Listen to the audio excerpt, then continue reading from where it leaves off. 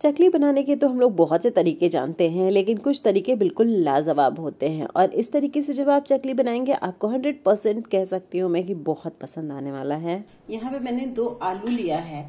Average size के आलू हैं और उन्हें अच्छी तरीके से धुल के, साफ़ करके उसको बॉईल कर लिया है। बॉईल करने के बाद वो जब ठंडा हो गया है, मैंने उसे ग्रेट कर लिया है। और ग्रेट करने के बाद उन्हें मैं एक प्लेट में निकाल ले रही हूँ। और उसमें हम थोड़ा सा नमक डालेंगे। इस आलू को हमें थोड़ा सा स्पाइसी बनाना है और साथ ही हम डालेंगे उसमें थोड़ा सा गरम मसाला। और दोस्तों साथ ही ऐड किया उसमें आधे चम्मच कश्मीरी मिर्च। इन सारी चीज़ों का कॉम्बिनेशन जब इसमें आता है ना, बहुत अच्छा लगता है। और सबसे मज़ेदार जो इसमें चीज़ ऐड करनी है, वो हमें है आमचूर पाउडर यानी कि मैंगो पाउडर तो दोस्तों, यहाँ पे मैंने एक चम्मच मैंगो पाउडर भी ऐड कर दिया है। और चटपटा सा टेस्ट देने के लिए मैं इसमें ऐड कर रही हूँ एक चम्मच काला नमक। और साथ ही ऐड करेंगे एक छोटा चम्मच काली मिर्च पाउडर ये सारी चीज़ों का कॉम्बिनेशन इसमें बहुत टेस्टी लगता है। और सबसे इम्पोर्टेंट इंग्रेडिएंट एक चम्मच तेल। और दोस्तों, ये मस्टर्ड ऑयल इसमें ऐड करेंगे। बहुत अच्छा टेस्ट आता है। मस्टर्ड ऑयल जो है वो है ना, इसमें सॉफ्टनेस भी प्रोवाइड करता है। और इसका जो खाने में ये जो, जिसको टेस्ट देता है, वो भी बहुत अच्छा लगता है। इन सारी चीज़ों को आप अच्छे तरीके से मिक्स कर लें। आप हाथों की हेल्प से या फिर मैशर की हेल्प से किसी भी तरीके से आप इसको इसको अच्छी तरीके से मिक्स कर ले। बिल्कुल होमोजीनियसली मिक्स करना है। मिक्स करने में अगर कमी हो गई तो हमारी रेसिपी उतनी परफेक्ट नहीं बनेगी। तो इसको बहुत ही अच्छे से मिक्स कर लेना है। पूरा आलू ना चारों तरफ़ से स्पाइसी हो जाएगा। और यहाँ पे मैंने एक कप मक्के का आटा लिया है। आपको इजिली मार्केट में मिल जाएगा किसी भी जो आटे चावल की शॉप होती है। उसमें से दो दो चम्मच करके हम इसमें डालेंगे और उसको मिक्स करते जाएँगे। पूरा एक साथ हमें नहीं डालना है। थोड़ा थोड़ा करके डालने से क्या होता है कि हमें बिल्कुल अच्छी तरीके से इसको मिक्स करना सही पड़ता है। फिर मैंने यहाँ पे दो चम्मच और डाला है। फिर से ये देखिए, इसमें मैंने थोड़ा सा और ऐड कर दिया। दोस्तों, साथ ही इसमें ना थोड़ा सा हल्दी पाउडर ऐड कर दे। मैं इसमें डालना भूल गई थी तो मैंने इस टाइम पे भी ऐड कर दिया है और हल्दी पाउडर को भी हमें अच्छे तरीके से मिक्स कर लेना है। और फिर से इसको मिलाते जाएँगे इसमें दो चम्मच। और मैंने पाउडर डाल दिया। और इस तरीके से हम उसे पूरा प्रेशर दे दे के अच्छी तरीके से मिक्स करते हुए उसका डो रेडी करेंगे। और दोस्तों, इसको, इसका डो रेडी करते वक्त मैं इसमें एक चम्मच भी पानी नहीं यूज़ कर रही हूँ तो इसमें बिल्कुल भी पानी ना यूज़ करें। इस तरीके से आप बनाएँगे तो बिल्कुल परफेक्ट रेसिपी बनेगी। और ये देखिए, मैंने इस वक्त आधा इसमें मक्के का आटा डाल चुकी हूँ मैं। एक कप में से आधा कप डाल चुकी हूँ। और मुझे और ये देखिए, ये अभी गीला है डो तो अभी इसमें दो चम्मच और डालेंगे और फिर उसे मिक्स करेंगे। तो फाइनली हमारा एक अच्छा सॉफ्ट सा डो बिल्कुल रेडी हो गया है।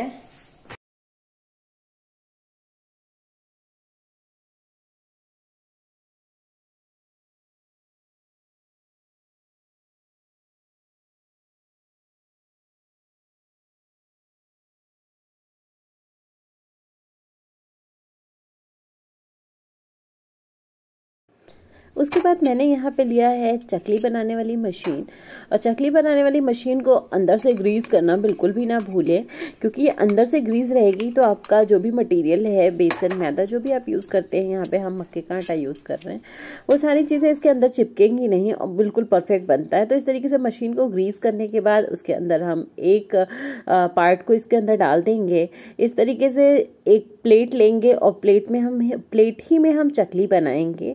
तो इस तरीके से घुमा घुमा के चकली बनाएँ और ये देखिए, बिल्कुल परफेक्ट और इसको एक नाइफ की हेल्प से काट के और जो एंड है, वो आपको अंदर के साइड मोड़ना है, बाहर के साइड बिल्कुल भी नहीं छोड़ना है।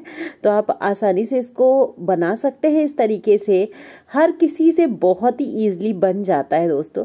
दोस्तों, अगर आपके पास मशीन नहीं है तो भी आप इसे पॉलीथीन में भर के आप कोई भी दूध का पैकेट या फिर आप रिफाइन का पैकेट ले सकते हैं और उसमें भर के इस तरीके से बना सकते हैं। तो यहाँ पे मैंने कढ़ाई चढ़ाई है। कढ़ाई में मैंने डाल दिया है कुकिंग ऑयल ऑयल हमारा मीडियम हॉट हो चुका है और मीडियम हॉट से बल्कि थोड़ा ज़्यादा ही रखना है। और उसके बाद एक एक चकली करके मैं इसमें डाल दे रही हूँ। ये देखिए, पूरी कढ़ाई बबल्स से भर जाती है। चकली को एक दूसरे से चिपका के ना डालें। थोड़ा सा उसमें इस गैप दे के ही बनाएँ। तो इस तरीके से ये देखिए बबल्स पहले से कम हो गए हैं। डालना जब है तब हमें फ्लेम को रखना है फुल और उसके बाद फ्लेम को हमें कर देना है कम। तो दोस्तों, ये बबल्स जो हैं, वो जब आप डालेंगे तो काफ़ी बबल्स आ जाएँगे, और ग्रेजुअली ये बबल्स सेटल हो जाएँगे। तो बबल्स पहले से कम हो गए हैं। और जब बबल्स कम हो जाएँगे तो उसमें हम लगाएँगे स्पैचुला स्पैचुला की हेल्प से आ, हल्का सा उसे हिला डुला देंगे और ये खुद ब खुद भी ऊपर आ जाएँगे। बिल्कुल परफेक्ट बनी है। अगर रेसिपी परफेक्ट बनेगी तो ये खुद ब खुद ही ऊपर आ जाएँगे। बिल्कुल लाइट वेट होती है। अंदर से बिल्कुल हॉलो होती है। खोखली होती है अंदर से और बाहर से बहुत ही ज़्यादा क्रिस्प बनती है। दोस्तों आप मेरे कहने से एक बार आप इस रेसिपी को ज़रूर ट्राई करें। आप एक बार ट्राई करेंगे तो आप इसके फ़ैन हो जाएँगे। जी हाँ दोस्तों, बहुत अच्छा लगता है और टेस्ट बिल्कुल मार्केट जैसा आता है। बहुत ही यूनिक रेसिपी है और बहुत ही मज़ेदार, लाजवाब रेसिपी है। तो दोनों तरीके से, तरफ़ से फ्लिप कराते हुए मैं इसको सेक ले रही हूँ। अच्छे से इसको फ्राई कर लेना है हमें। और, ये देखिए, ये पहले से हल्के से ब्राउन होने शुरू हो गए हैं। और इसको टोटल मैंने छः से सात मिनट सेका है।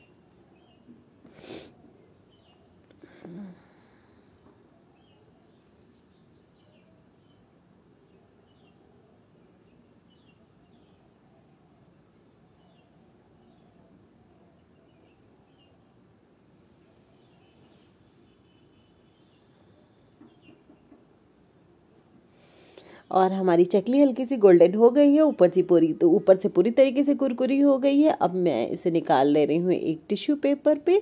दोस्तों, इस तरीके से चकली जब आप बनाएँगे, आपको बहुत पसंद आने वाली है, बिल्कुल क्रिस्प बनती है, बहुत लाजवाब बनती है। तो मुझे पूरी उम्मीद है कि आपको ये रेसिपी बहुत पसंद आई होगी। मेरे चैनल को अगर सब्सक्राइब नहीं किया है तो प्लीज़ इसे सब्सक्राइब कर लें। साथ ही फ्रेंड्स एंड फैमिली के साथ इसे शेयर करें और अगर रेसिपी पसंद आई हो तो एक लाइक ज़रूर कर दें। It gives me a lot of motivation and thank you very much thanks for watching bye bye till my next video comes hope you enjoyed this recipe